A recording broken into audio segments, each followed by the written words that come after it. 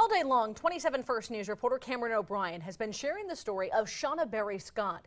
The Youngstown native went to prison, was granted clemency, and now dedicates her life to helping others give a second chance. New at 11, Cameron introduces us to Shauna's youngest son, Lester, and how he's helping make her dream to help others a reality.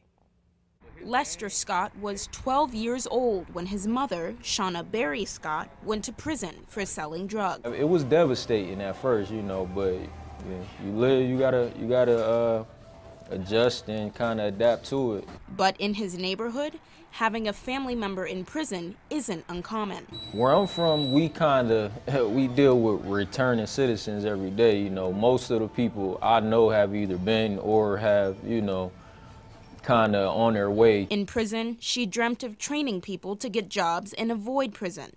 She calls it New Freedom Project. Lester is helping his mom realize that dream.